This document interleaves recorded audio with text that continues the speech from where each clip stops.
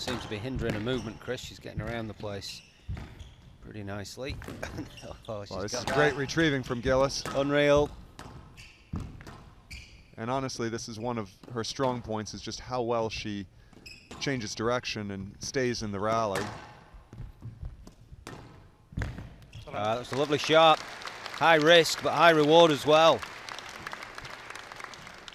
Hand out.